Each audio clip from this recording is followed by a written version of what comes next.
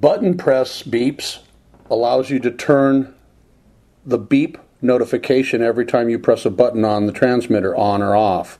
Simply press the function button and select on or off.